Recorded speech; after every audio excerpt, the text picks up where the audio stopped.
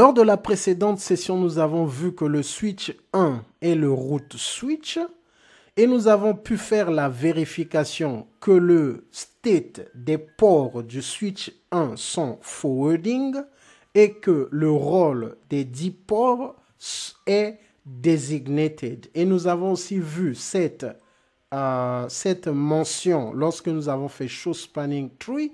This bridge is the root. Donc, selon les conditions, nous avons déterminé qu'effectivement, dans cette topologie, le switch 1 est le root switch.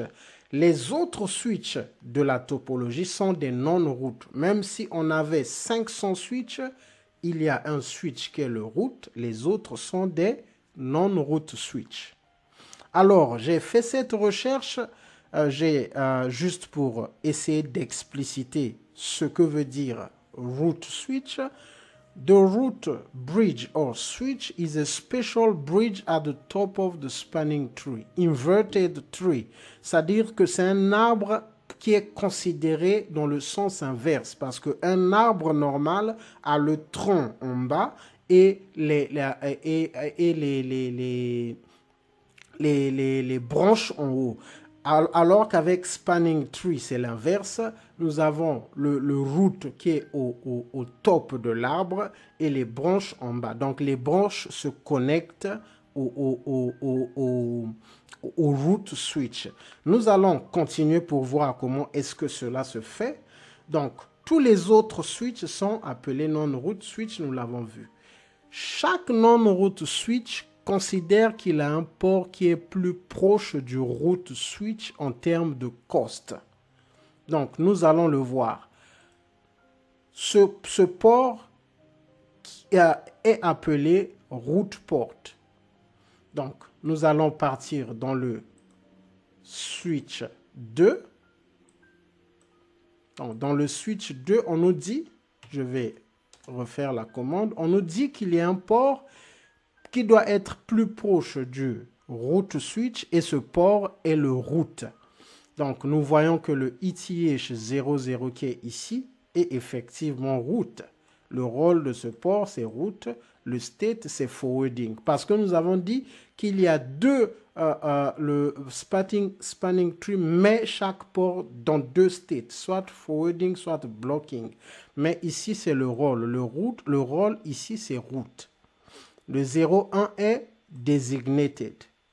Lorsque nous venons au switch 3, je vais rappeler la commande, nous voyons que le 02 qui va vers le switch 1, qui est le route, est le route port et le 01 qui va vers le switch 2 est en blocking alternate. Nous allons voir les détails alternate après, mais pour l'instant, nous retenons ce que nous voulons retenir, c'est que les ports qui sont plus proches du route sont les route ports. Parce que euh, on nous dit que leur cost est, est bas pour atteindre le route. Nous allons voir ces détails après, mais pour l'instant, nous voyons que les, les ports qui sont proches du route switch sont des route ports. Alors, Plusieurs switches peuvent faire partie, c'est la troisième, euh, c'est le troisième élément. Plusieurs switches peuvent faire partie d'un même Ethernet segment. Donc ici, on nous donne l'explication de ce que c'est qu'un segment. Ça veut simplement dire que sur chaque, chaque connexion entre deux switches est un segment. Donc ici, nous avons un segment, là, nous avons un segment, là, nous avons un segment, là, nous avons un segment. Ce qui est important ici, c'est qu'on nous dit dans chaque segment, il y a un switch qui a le lowest root cost. Ce switch est appelé designated switch et le port du dit switch connecté au segment est appelé designated port. Nous l'avons déjà vu d'une façon lorsque nous avons fait la vérification du switch 2. Nous avons vu que le 00 qui est plus proche du route est euh, le rôle route et le 01 qui fait face à, à, au switch 3, donc qui, est, euh, qui fait face à ce segment, qui est dans ce segment, est designated. Mais pour que ça soit plus clair, nous allons le voir ici, parce que nous sommes dans un cas d'un switch qui, qui se connecte à un autre switch qui n'est pas connecté au route switch. Donc, nous allons vérifier c'est le 03. Nous allons rappeler la commande show spanning tree. Nous voyons que le 03 qui est dans ce segment parce que ce switch est plus proche du route, donc son port connecté au segment est designated. Nous allons voir euh, au niveau du switch 4 et nous allons voir qu'au niveau du switch 4, le 03 est plutôt route. Donc ici là c'est designated, ici là c'est route. Je vais écrire cela pour que ça soit un peu plus clair. Ici je vais simplement mettre DP designated port et ici je vais mettre route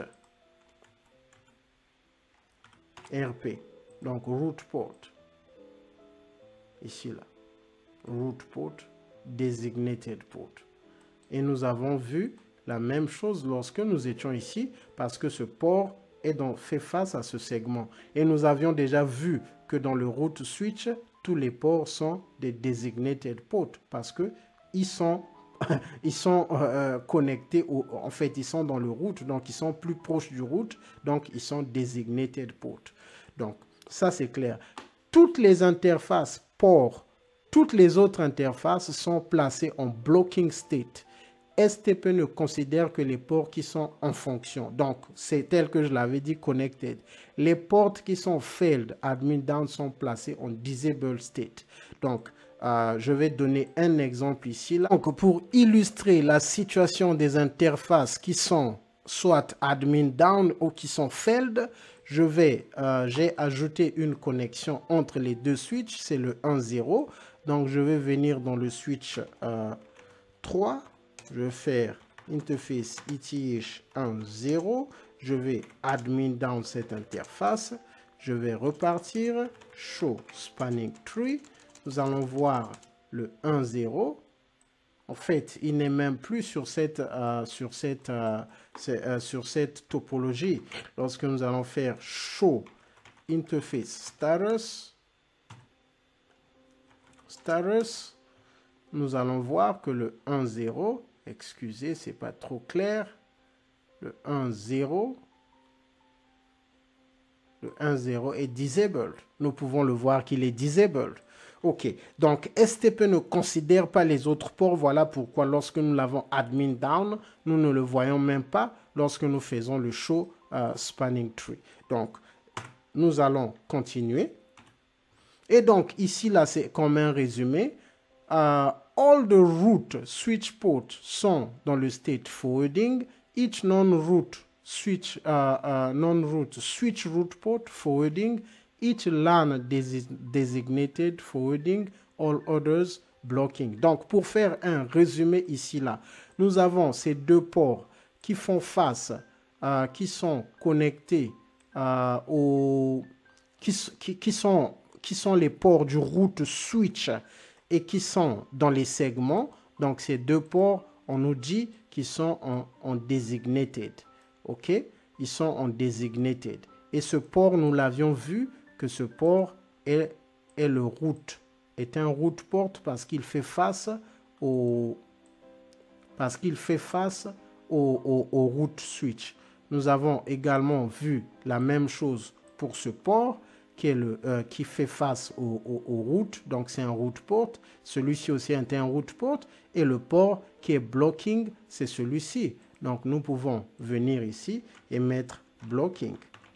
Donc c'est un peu le travail que Spanning Tree fait. Donc, nous avons les ports qui font face à ces segments qui sont dans le route switch, qui sont designated. Le, le, le, port qui fait face au route switch, donc qui est plus proche du route, est route port.